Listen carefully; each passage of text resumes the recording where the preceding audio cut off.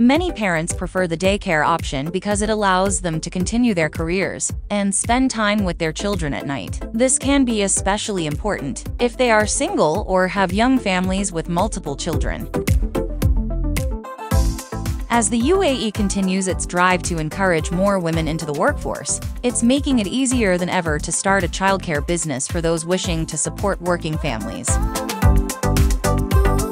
Daycare is a highly regulated industry, but with the guidance of a company formation expert, starting your business can be fast, straightforward, and affordable. Things to consider before starting a daycare center. First, you should consider the type of service that you want to offer, depending on your requirements. You can go for full-time or part-time care. Next, you must have enough space along with experienced and qualified staff members. Necessary equipment needed for a daycare, such as play equipment like slides, swings, toys, books, etc. Permits and approvals. Obtain the trade name approval from Dubai Trade and Commerce Department, approval of the Ministry of Education.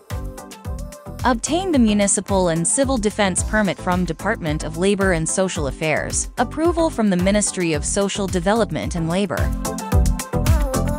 Required documents a copy of your visa, a copy of your residence permit, proof that you have a bank account in Dubai. For example, a copy of your latest salary slip, evidence that you have insurance coverage for the daycare center. For more information and guidance, contact our company formation experts today, and feel free to call us at plus 971 5881 01985 or visit our website www.aroojgroup.com.